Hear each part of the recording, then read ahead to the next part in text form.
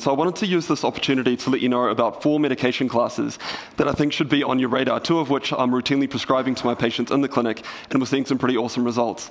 And then I want to talk about some skincare devices that have got the potential to uh, reverse the signs of skin aging.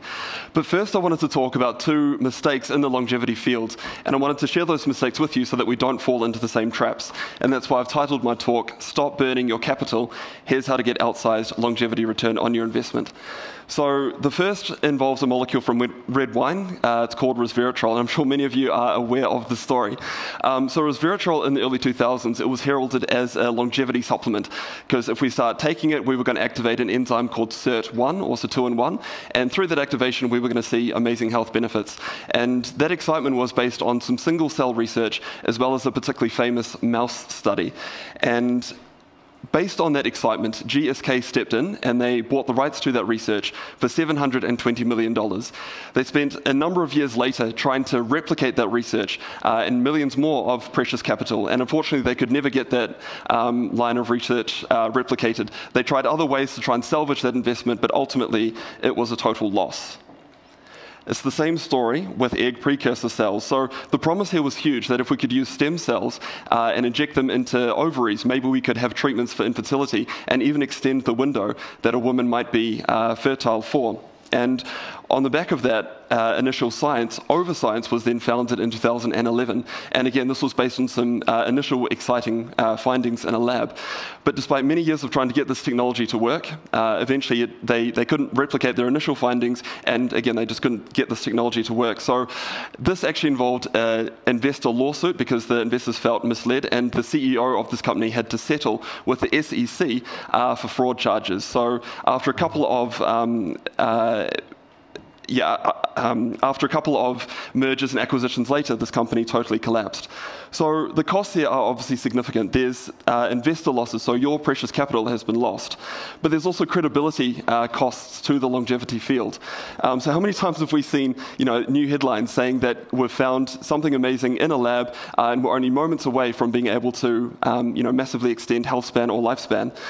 So there's a clear pattern here. There's the exciting initial discovery, usually based on one particular lab.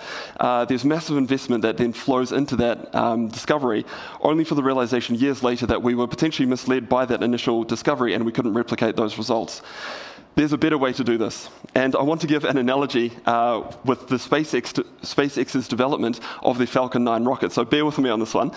Um, so they had the idea that they wanted to figure out a way to not only launch but then land their rockets, and the implications here were huge. Um, if they could perfect this technology, then they could massively reduce their costs and increase their access to uh, uh, to space. Now, from their initial testing, they had a strong suspicion that they were going to be on the right path. They were building from a solid foundation, again based on those tests. So these failures that you're seeing on the screen here, they weren't only accepted, but they were expected, because with every failure, they could learn, they could iterate and then they could scale once they got this technology working. And I believe it was in 2015 they finally managed to get this technology working where they landed the rocket. And I think we need to take a similar approach with the longevity field. We have to make sure that we're building from a solid foundation of science, and then we can move forward and scale. So, how can we do this? Well, one way is to focus on the interventions testing program. So, the interventions testing program is run in the United States, and what they do is they test different molecules in mice to see whether they will extend uh, health span and lifespan. But what's special about this program is that they run the same experiment at the same time in three different labs. So, we know that if we see a positive result here, it's most likely to be a true reproducible result. And again, we can build from that solid foundation of science. They also use genetically diverse mice. So, in theory at least, if we see positive results here, it should translate uh, more effectively into humans rather than using other inbred strains of mice, um, in theory at least. So it solves the reproducibility crisis. And just to give another example about how critical this is, um, there were uh, 53. So if we have a look at the um, at cancer, for example, yes, there's been uh, progress with cancer treatments, but it hasn't been as explosive or um, as fundamental as what we had initially hoped. And one of the potential reasons for that is um, a lot of the initial science was based on 53 clinic, uh, key preclinical uh, studies, and so those studies that informed different cancer uh, targets, drugs, and then also moving on to um, human clinical trials. But when Amgen in 2000 2012 tried to replicate those 53 foundational studies. Only six of them were reproducible. So it's no wonder that this has been a bit of a house of cards that has fallen and collapsed. And again, that's why we haven't seen the explosive results that we were hoping for. The interventions testing program, however, it's got that reproducibility built in. It means that, again, we can build from that solid foundation of science. So here are some examples of successes where we've potentially saved your capital. So the first one is fisetin. So fisetin is a so-called senolytic agent. So when um, our cells grow and divide, they can only divide so many times until they become senescent. The trouble is that senescent cell can excrete a bunch of different factors that can damage the surrounding tissues. So senolytics are there to try and remove those senescent cells so that that damage doesn't happen, and then we can replace those senescent cells with fresh new ones uh, that, that aren't senescent. So again, when the interventions testing program trialed fisetin, there was no lifespan extension effect seen, and there were no other benefits seen. So to me, that says that we haven't quite nailed the senolytic uh, preclinical work yet. We need to go back to the drawing board and make sure that we know which senescent cells we need to remove and how best to do that, and then we can start to scale. The second example I want to give is uh, nicotinamide riboside. So many of you, I'm sure, have heard of nicotinamide riboside. It's an NAD precursor. So NAD is central to our metabolism, and through different stresses and even, even the aging process itself, our NAD levels can come under stress. So the hope is that by using precursors like nicotinamide riboside, we can support our NAD metabolism. But when the interventions testing program trialed nicotinamide riboside, there was no lifespan extension effect and there were no other benefits seen either. So again, to me, that indicates that we haven't quite nailed the preclinical work with our NAD metabolism. We need to figure out how best to support it. And if we skip ahead to the human clinical studies of, you know, nicotinamide riboside or other um, precursors of uh, NAD, the results have been quite mixed, and there's nothing really to, uh, to write home about. And again, it's because we haven't yet based um, those uh, clinical trials on that solid rock of preclinical work. So again, this is just one example to do it, but we can use the interventions testing program to validate interventions and ensure that we're basing human studies on robust, reproducible preclinical results. So, what are some present opportunities? Um, what are some high upside interventions? Well, the first of four medication classes that I wanted to highlight to you today is SGLT2 inhibitors. So, these are um, this is one of the medications that I'm routinely prescribing to my patients in the clinic, uh, particularly for my type 2 diabetic patients. So, it basically works by telling the kidneys to pee out glucose, to pee out sugar, and it's wonderful to help uh, control a patient's blood sugar levels. But what's really interesting about this class of medication is that it started to be repurposed for other interventions. So, for example, in heart failure patients, so these patients do not have type 2 diabetes, they've just got heart failure. When we give them SGLT2 inhibitors, we reduce the need for hospitalization and we reduce their cardiovascular disease death rate. And it's a similar story for kidney health. So, for chronic kidney disease, uh, where the kidneys are leaking protein, and again, these patients do not have type 2 diabetes, when we give them SGLT2 inhibitors, their kidneys leak much less protein protein, we reduce uh, the kidney decline over time and we reduce the chance that that patient will go into end stage uh, chronic kidney disease and requiring dialysis. But what's quite interesting is that there is some preclinical work now to suggest that maybe SGLT2 inhibitors can also play a role in senescence, which is what I was talking about with fisetin. And it also helps to balance the post uh, feeding glucose spikes that we get whenever we eat some food. So when the interventions testing program trialed an SGLT2 inhibitor called canagliflozin, it extended male mice lifespan by 14%. So there's a solid rock of preclinical work here that we can build upon, and we, again, are starting to expand these interventions uh, with SGLT2 inhibitors, and it might be that based on this work, um, and this is an interesting hypothesis to test and potentially invest in, is whether we could use SGLT2 inhibitors at low doses in otherwise healthy individuals to extend our healthy lifespan and reduce kidney decline, etc. So again, I think this warrants your attention. The second class of medication uh, that I wanted to bring to your attention is rapamycin, which again I'm sure many of you have heard. It's the golden child of the interventions testing program because whenever they test it, it extends both male and female mice lifespan anywhere between 17 to 25%. But getting human clinical trials off the ground in otherwise healthy individuals with rapamycin until recently has been quite tricky because there's been a lot of questions about dosing and how often we should be giving rapamycin.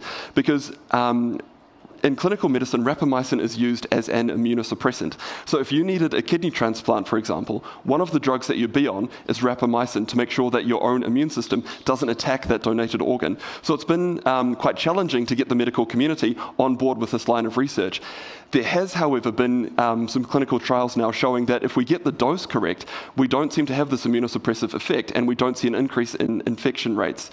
Um, so, on the back of that safety data, again, Matt Kaeberlein and I, we set up a clinical trial looking at rapamycin and combining it with exercise. And we, and we wanted to see what would happen um, with one group who took rapamycin and exercise and the other group who just exercised. And we were looking to see what happens to older adults in terms of their muscle strength and function. And I'm really pleased to share with you today that we've now got the results of that study and we've submitted it for peer review. Um, so if you did want to uh, learn about those results, um, with the caveat again that they are under peer review still, please find me after this talk because the results I think give us a really interesting direction about where we should be taking rapamycin for otherwise healthy individuals. Uh, the third of four medication classes I wanted to bring to your attention is GLP-1 medications, which again I'm sure many of you have heard about already.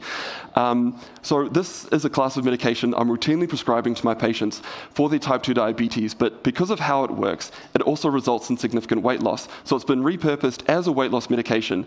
Um, and we also seem to get other metabolic health benefits as well. So, much like the SGLT2 inhibitors, it started to be repurposed for other indications such as sleep apnea. There's also heart failure trials that have been very successful, uh, and also kidney health as well. Um, but it may have broader longevity benefits. So, that, and again, this is an interesting hypothesis to test about whether microdosing GLP-1 medications for otherwise healthy individuals would also offer also offer us um, health benefits in terms of you know helping to um, reduce the, the chance that we would go on to developing uh, you know diabetes and even potentially extending our healthy lifespan. Again, it's a really interesting um, hypothesis to test, and that's based on a solid rock of foundational science especially when we consider um, combining GLP-1 medications with other peptides. So GLP-1 is glucagon-like peptide 1. We've also got um, GIPs, which are gastric inhibitory polypeptides, and that's exactly what tirzepatide is. So tirzepatide, in the clinical trials that we've got at the moment, offers greater weight loss compared to just GLP-1 medications. Retatrutide takes that one step further, and it's got three different uh, classes of uh, peptides in it. And in a phase two study, that's offered even further weight loss effects compared to tirzepatide. So this area is ripe for innovation, um, and again, I think it warrants your attention. The final class of medication is PCSK9 inhibitors. So these are medications that work by lowering your LDL cholesterol levels, but they've got the potential to completely revolutionize how we treat and prevent cardiovascular disease. So they basically work by telling the liver to express lots of LDL receptors. And so um, if the liver is expressing lots of those receptors, it pulls the LDL particles out of our blood uh, and where the cholesterol can then be processed in the liver rather than the, than the cholesterol being dumped in the blood vessel walls. So we we already have PCSK9 inhibitors, but what's really interesting now is we've got small interfering PCSK9 inhibitors. So these are medications where, where you give the medication once at the six month mark, your LDL cholesterol levels are roughly 50% lower compared to what they were at baseline. Now, that's important because, yes, I can prescribe a medication in the clinic, but life gets in the way sometimes for patients. They fall off the bandwagon and uh, they stop taking these medications. Whereas if we only have to use these types of medications every, uh, you know, twice a year, that massively increases adherence and has got the potential to massively reduce cardiovascular disease as well. But if we're not too interested in medications, there is um, the potential for uh, reversal of the signs of skin aging. So these are devices that stimulate the body's natural repair mechanisms, and this area is exploding in popularity because of some recent um, innovations. So we used to just we used to just have ablative options. So ablative uh, skin lasers, they would essentially burn the top layer of your skin and then stimulate the deeper layers of your skin uh, to repair themselves. And while they offer fantastic results in terms of uh, reducing fine lines and wrinkles, there's significant recovery time, as I'm sure you can imagine. Now, however, we've got non-ablative uh, devices which offer almost as good a result in terms of reducing fine lines and wrinkles, um, but without that significant uh, recovery time. There's also other emerging areas like LED devices, uh, red light therapies, which um, we're very we've already experienced here at the conference. We've also got um, IPL lasers, uh, so intense pulsed light. So those are devices that are fantastic at treating uh, freckles and age spots. So these are options that I actually personally use, and I also recommend to my patients as well, because they are completely revolutionizing how we can uh, reverse the signs of skin aging. So what's the overall lesson here? What am I trying to impart to you today? So the old model was to bet big on an early result, but the new model is to is to first validate that initial result rather than jumping ahead first. So we want to make sure that, again, we're building on that solid rock of foundational science that is reproducible so that we're not falling into those same traps. Then we can iterate and then we can scale. So make sure that we avoid the hype traps and we can invest in validated interventions and make sure that we're giving your capital the love and attention that it deserves. And if you did want to find me after this talk uh, to talk about the rapamycin clinical study, I'll be more than happy to answer your questions. But thank you very much.